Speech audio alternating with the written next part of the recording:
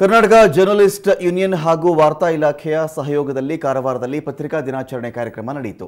ನಗರದ ಪತ್ರಿಕಾ ಭವನದಲ್ಲಿ ನಡೆದಂಥ ಸಮಾರಂಭದಲ್ಲಿ Suvarna ನ್ಯೂಸ್ನ current affairs editor Jayaprakash Shetty ಅವರಿಗೆ ಕರ್ನಾಟಕ ಜರ್ನಲಿಸ್ಟ್ ಯೂನಿಯನ್ ವತಿಯಿಂದ ಹರ್ಮನ್ ಮೋಗ್ಲಿಂಗ್ ಪ್ರಶಸ್ತಿ ಪ್ರದಾನ ಮಾಡಿ ಗೌರವಿಸಲಾಯಿತು. ಇದೇ ವೇಳೆ ರಾಜ್ಯದ ನಾನಾ ಸಮಸ್ಯೆಗೆ ಬಿಕ್ರಿ ಮೂಲಕ ನ್ಯಾಯ ಒದಗಿಸಿದ್ದ ಜಯಪ್ರಕಾಶ್ ಶೆಟ್ಟಿ ಅವರ ಅಭಿಮಾನಿ ರವಿ ಮುಕ್ರಿ ಹಾಗೂ ಶಿರವಾಡ ಸರ್ಕಾರಿ ಪ್ರೌಢಶಾಲೆಯ ಶಿಕ್ಷಕರು ಕೂಡ ಇವರನ್ನ ಸನ್ಮಾನ ಮಾಡಿದರು.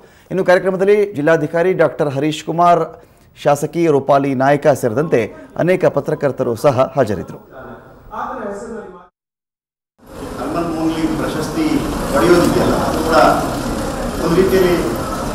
ಪತ್ರಿಕಾ ದಿನಾಚರಣೆ ದಿವಸ, ಪ್ರಥಮ ಪತ್ರಿಕೆ, ಪ್ರಥಮ ಕನ್ನಡದ ಮೇಲೆ ಪ್ರೀತಿಯಿಂದ ಏಳು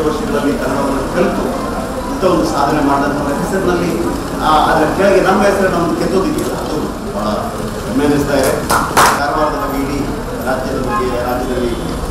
ವಿಶೇಷವಾದಂಥ ಅಭಿಮಾನ ಅಭಿಮಾನ ಕೈ ನೋಡಿ ನೆಕ್ಸ್ಟ್ ಟೈಮ್